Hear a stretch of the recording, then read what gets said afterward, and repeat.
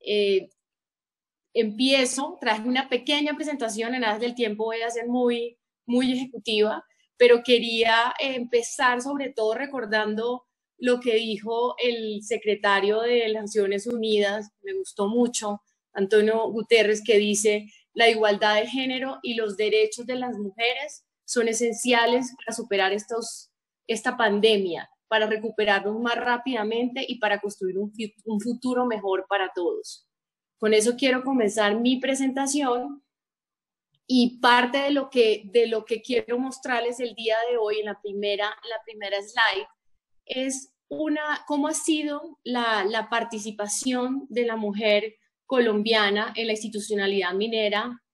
y que eh, me parece muy oportuno porque la semana pasada nuestra ministra María Fernanda Suárez estuvo celebrando los 80 años del Ministerio de Minas y Energía.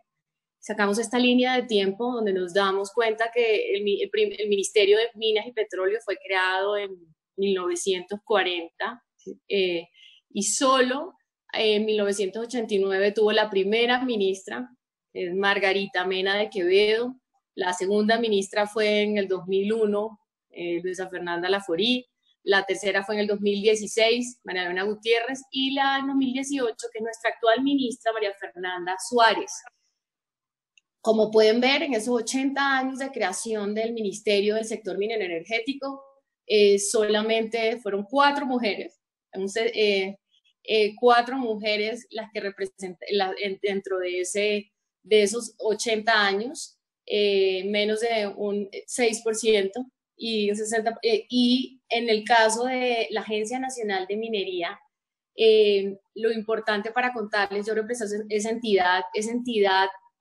ha, ha, marcado el cambio y si se dan cuenta han sido más mujeres a la cabeza de esta entidad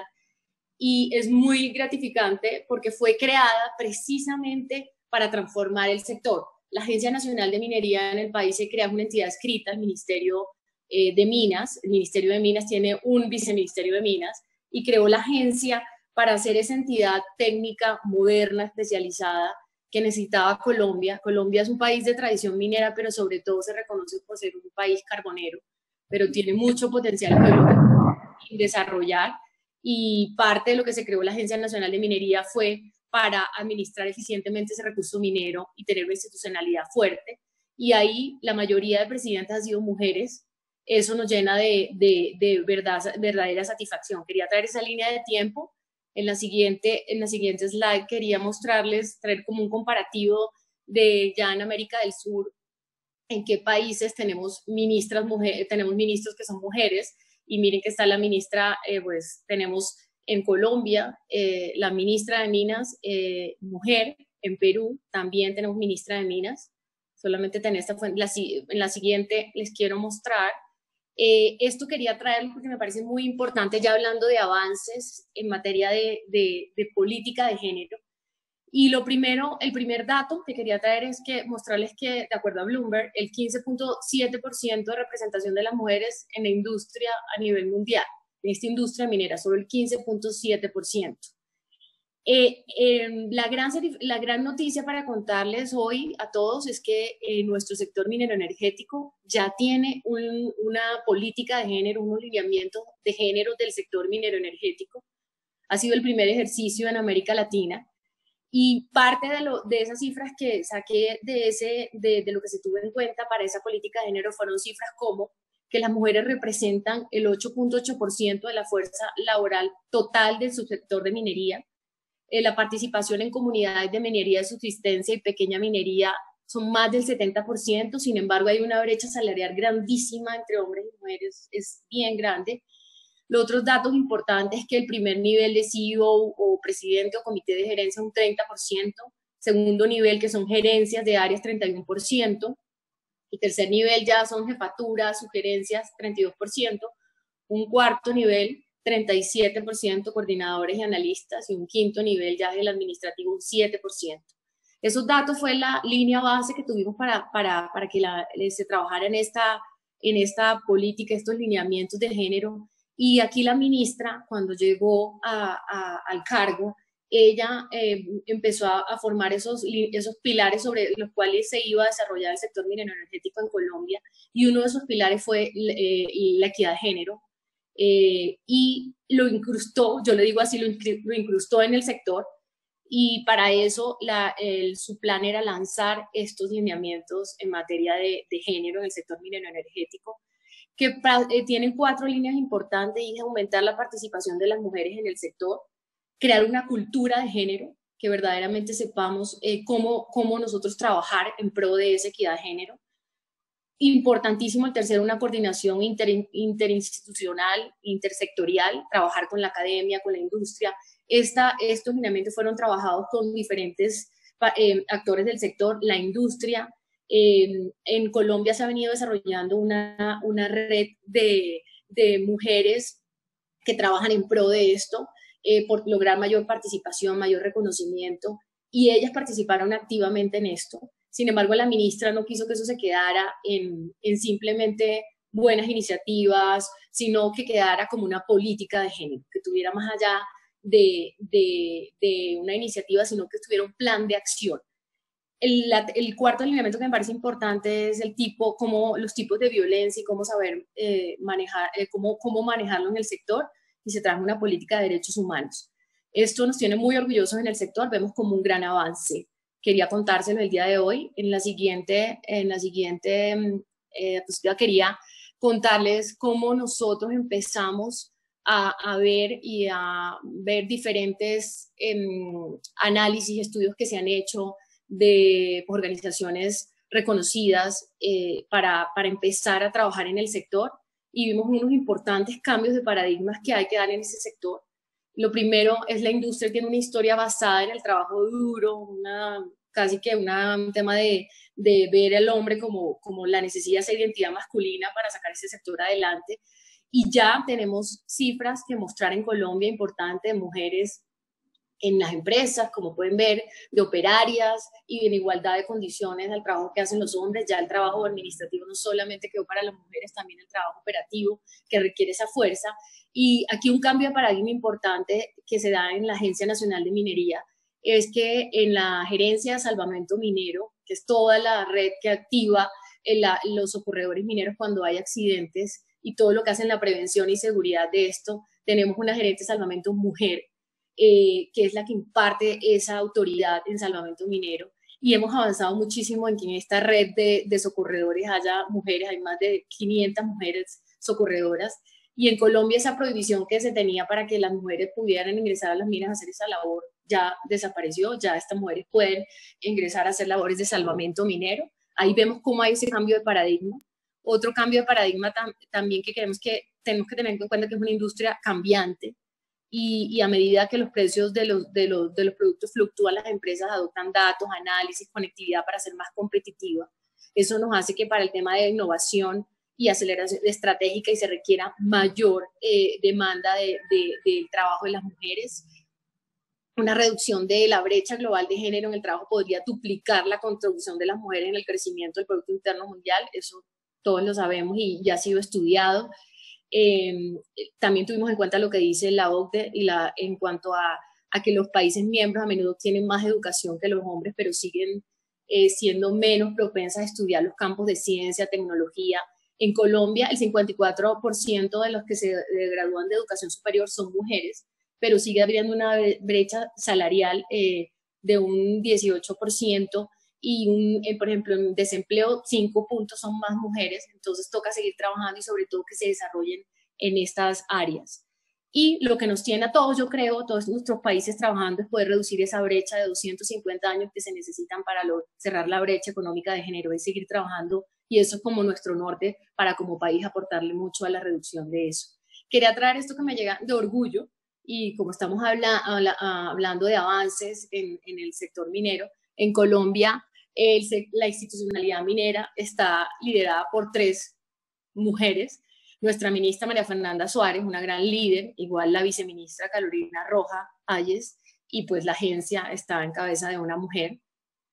Y esto, porque queremos ver que esto va más allá de, de, cifras, esto, esto es todo un tema de transformación cultural en el sector, no solamente mostrar datos fríos, sino que mostrar que podemos trabajar eh, y me gusta muchísimo esto que traigo acá, esta imagen, porque eh, como mujeres hemos en Colombia hablamos mucho del tema de sororidad y es que las mujeres no necesitamos competir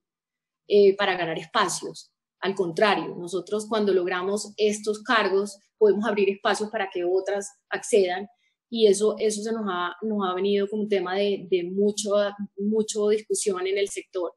Em, otra cosa que, que, vemos muy importante es que este sector se ha metido en toda una transformación tecnológica y, y, hablamos, y eh, teniendo en cuenta la cuarta revolución industrial y todo el tema de tecnologías, eso permite tener una perspectiva más equilibrada en, en, en la demanda, en lo que se requiere de trabajo de hombres y mujeres. Eh, la, en la siguiente, eh, también quise traerles datos de la Agencia Nacional de Minería y me pareció muy importante porque cuando uno lee como artículos o, como reportes, por ejemplo, del Global Gender Gap Report, que dice que todavía el tema de equidad de género se ve como simplemente un conjunto de habilidades que se pueden demandar de mujeres, pero que hace falta muchísimo trabajar para que verdaderamente se consolide eso y tengamos una verdadera representación. Nosotros tenemos un buen indicador de que estamos trabajando eso en la agencia en la Agencia Nacional de Minería hay el 57% de la, de la fuerza laboral son mujeres y el 40% del equipo directivo son mujeres también. Y en todos los cargos que hay ya de un nivel directivo de tercer nivel o segundo nivel, coordinadores y gerentes son un 61%. Y trabajamos de la mano eh, con, en igualdad de condiciones. Esto se los quiero mostrar más eh, de manera detallada en la siguiente, en la siguiente slide donde podemos, eh, quería contarles que todo eso no queda solamente en llenar cifras y decir, tenemos tantas mujeres, tantos hombres, sino que esas mujeres ese, están liderando proyectos estratégicos para el cambio eh, de ese sector, para la transformación del sector. Eh, y parte de esa transformación y en la agencia que hicimos fue empezar a trabajar en el tema tecnológico. Nuestro observatorio de, tecnologías en Colombia, el observatorio de, TICS, habla de que el 40% eh, hay participación de mujeres. Y, por ejemplo, nosotros en la agencia, el gran proyecto tecnológico que es HANA Minería es liderado por una mujer. ¿Y por qué lo traigo acá? Este es el nuevo catastro minero en Colombia. Eh, el debate, estuvo un debate por el nombre y se llegó a la conclusión de Ana Minería que significaba lo que, lo que una mujer, lo de una mujer que en cuanto a ser transparente, empática, se llegó a ese, a ese nombre. Y este, esto lo hemos llamado que este, este sistema de información de gestión minera va a ser un cambio en el sector porque lo que queremos es que ese sector se reactive, eh, que tenga procesos más transparentes, que los trámites sean eficientes, atraer mejor, mayor inversión porque estamos convencidos que la minería va a ser un gran aliado en la reactivación que se necesita eh, eh, después lo que está lo que por post covid en estos momentos lo que lo que estamos viviendo en el mundo. Y en Colombia vemos la minería como el mejor aliado o de los mejores aliados porque la minería lleva desarrollo al país pero es aliada en los territorios. Nos hemos dado cuenta cómo en estos momentos las empresas o los titulares mineros están trabajando de la mano con las autoridades locales para lograr solventar esta crisis. Entonces, Ana Minería nos permite eh, empezar a desarrollar ese potencial que tenemos como país. Nosotros somos un país que, que, tiene una importancia en el sector minero, pero tenemos un potencial importante sin desarrollar y, queremos tener una institución fuerte. Por eso traemos estos proyectos que son relevantes. El otro proyecto que tenemos es de recursos y reservas, que Colombia entró a Crisco tenemos ya un estándar de reporte de recursos y reservas en Colombia y pertenecemos como el tercer país de Latinoamérica y eso es liderado por una mujer también, una mujer eh, aguerrida que se dio a sacar esto contra todos los pronósticos y trabajó con el sector privado, la academia y logramos ser parte de esto. También lo que les hablaba de Salvamento Minero, que es una mujer, eh, encontró a la producción, que es lograr que el reporte de la producción en línea sea a través de sistemas tecnológicos. Una mujer, mejor dicho, el programa de beta, que es asistencia técnica al minero. Todo esto son proyectos y el tema de promoción y el tema de relacionamiento con el territorio, que es llegar a comunidades y eh, hablar con el territorio también es liderado por una mujer. ¿Por qué? Porque en Colombia queremos desarrollar una minería, le llamamos 4.0, y esa minería 4.0 tiene un tema de información clara y transparente que este sector necesita para legitimarse, una transformación tecnológica, una revisión de cuentas, pero un ADN social. Y en ese ADN social tenemos un tema de, en los, eh, como una obligación, y lo queremos hacer así, del titular minero, de trabajar en la gestión social del territorio. Nosotros en los contratos de concesión minera incluimos una cláusula que es que el titular tiene que tener un plan de gestión social, una obligación tal cual como pagar regalías, y en esa obligación tiene que hacer una caracterización de su territorio y tiene que tener una política de prevención de derechos humanos y en ese sentido eh, que, eh, reportar cómo va a hacer para contribuir a la equidad de género. Entonces, eso es de verdad un cambio en el sector porque no queremos que se queden cifras. De hecho, Ana Minería va a, pedir, va a permitir tener algo que hace falta en el país y son datos ciertos de la participación de las mujeres. En Ana Minería se va a poder ver la participación de las mujeres no solamente en instancia pública, sino en las empresas qué tipo de cargo ocupan, qué nivel, cómo la empresa está trabajando en el tema de equidad de género. Esa, esa base de datos la vamos a poder tener y la va a mostrar Ana Minería. Eso es en cuanto a avances. Ya la siguiente, y termino con eso. La siguiente es, para terminar, es por qué necesitamos más mujeres en general y mujeres líderes en la industria. Pues traes aquí algunas, algunas em, algunos, algunos en resumen de eso, eh, que son equipos diversos, que son eh, más inclusivos, más creativos, más innovadores, somos líderes transformacionales, nosotros somos empáticas, solidarias, flexibles, nos promote, nos o sea, casi que se nos vuelve un reto sacar proyectos adelante, se nos vuelve como parte de organizar una familia, así se nos vuelve en el trabajo y eso se necesita en las organizaciones porque sabemos manejar diferentes roles, responder a diferentes frentes eh, creo que eso trae hace mucho bien a las organizaciones. Y lo otro es, eh, quería aprovechar este espacio para terminar y es, esto era un escenario normal y teníamos que trabajar en esto, pero ahorita en el escenario que estamos viviendo, en esa pandemia que nos ha cambiado la vida a todos, en esta nueva realidad de que tanto hablamos, el post-COVID, yo creo que más de reto es una oportunidad para las mujeres. Uno, en cuanto a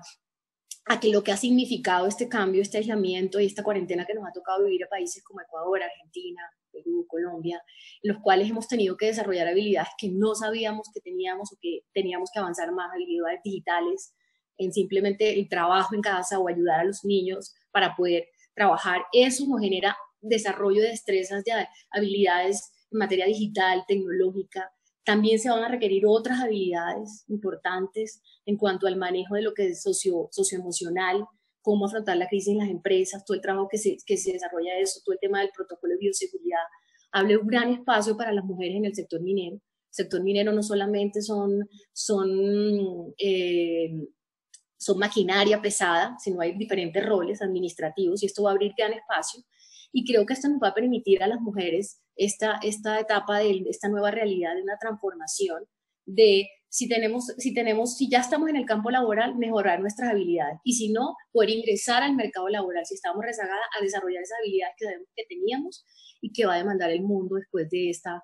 pandemia en que estamos viviendo. Entonces yo quería traerles como ese resumen de lo que en Colombia estamos trabajando, concluir diciendo que hace falta mucho, mucho, hay mucha brecha todavía, muchas brechas en materia de la equidad de género. Eh, sin embargo, en el país son positivos, se han dado grandes pasos y ya estamos hablando de eso. Y lo más importante es que en Colombia no se concibe eh, la promoción y el desarrollo del sector minero energético sin una equidad de género. Muchísimas gracias.